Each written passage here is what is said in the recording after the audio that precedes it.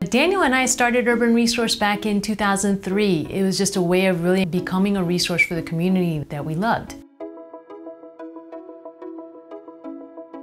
Back in 2008, we opened up our office here in North Beach, not too far from this location. And it was a little 500 square foot space that fit three people, no more. And now we have, you know, just about 50 employees and staying really grounded in the Normandy Isle, North Beach area. I think getting started is always a challenge in any business. So I think really understanding, you know, what you can do to, to be successful. Meeting all of the residents, the other business owners in the area, how can you help each other out and make sure they they feel part of the community and I think the interesting thing has been is, you know, as long as we've been here, it's really nice to see residents come in and say, oh, you know, so-and-so helped me out.